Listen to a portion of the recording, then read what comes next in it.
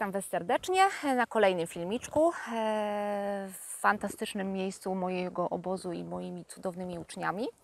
Chciałabym dzisiaj Wam pokazać pracę e, z otwarciem klatki piersiowej bez przeprostu, bo zwróćcie uwagę, że często słyszymy na koniu pojęcie wyprostuj się, bo gdzieś tam mamy te zaokrąglone ramiona. Ja oczywiście nie mam nic przeciwko zaokrąglonym ramionom, jeżeli jest to fizjologia, a nie jest to pogarbienie lękowe albo gdzieś tam e, taki brzydki nawyk, który nam jakby dowala koniowi ciężaru z przodu. Natomiast film, który dzisiaj Wam pokażę i ćwiczenie, jest to ćwiczenie z fizjoterapii, z neuromobilizacji, które rozciąga wszystkie jakby struktury w obrębie kończyny górnej i bardzo fajnie otwiera klatkę piersiową bez konieczności przeprostowania się w tułowiu. Także popatrzcie. E, Nie należy do tych jeźdźców, których wielce trzeba otwierać w klatce, ją trzeba bardziej skracać w tułowiu, natomiast jakby dla potrzeb filmu chciałabym, żebyście to zobaczyli że teraz takie ma ramionka, jakby ją o to poprosiłam, zamknięte do, do przodu.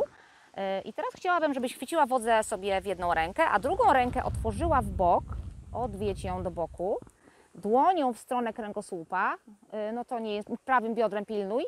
I teraz e, głowa w prawo. Wyciągamy też splot barkowy. Teraz naciągaj dłoń jeszcze bardziej w stronę kręgosłupa, stopa równolegle do podłoża. I teraz zobacz, że w tej płaszczyźnie możesz opuścić bark, i nie wiem, czy poczułaś, że y, miednica zjechała. Bo jakby to wszystko jest jedność, tak? Nie można jakby oddzielić podniesienia barku od tyłku, to się wszystko łączy mięśniowo, ale można świadomie to zrobić.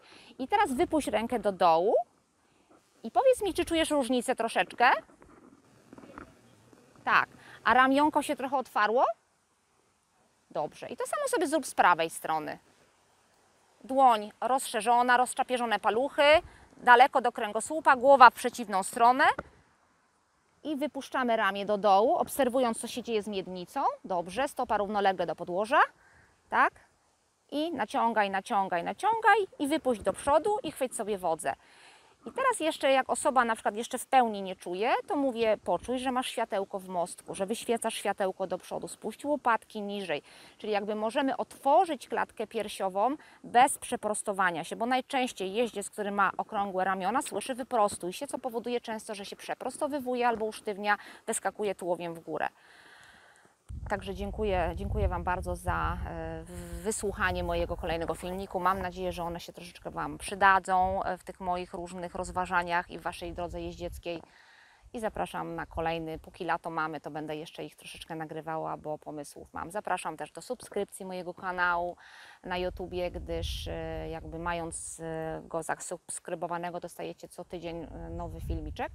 I też koniecznie dzielcie się tym filmem z innymi ludźmi, ponieważ ja bym chciała naprawdę dotrzeć do ludzi e, przede wszystkim dlatego, że poprawiając im e, świadomość ciała, nie tylko wpływam na dobrostan i lepsze czucie ciała konia, ale przede wszystkim słuchajcie, e, wpływam również na to, że Wy jakby opóźniacie ewentualne różne napięcia, przeciążenia w swoim ciele, które u każdego człowieka niestety e, w pewnym momencie zaczynają się pojawiać. Także im więcej świadomości ciała, również przede wszystkim też dzięki pracy z tym koniem uzyskacie u siebie, tym później będziecie mieli nie tylko lepszą relację z koniem, ale także z własnym swoim ciałem, dzięki czemu no, będziecie zdrowsi po prostu. Dziękuję.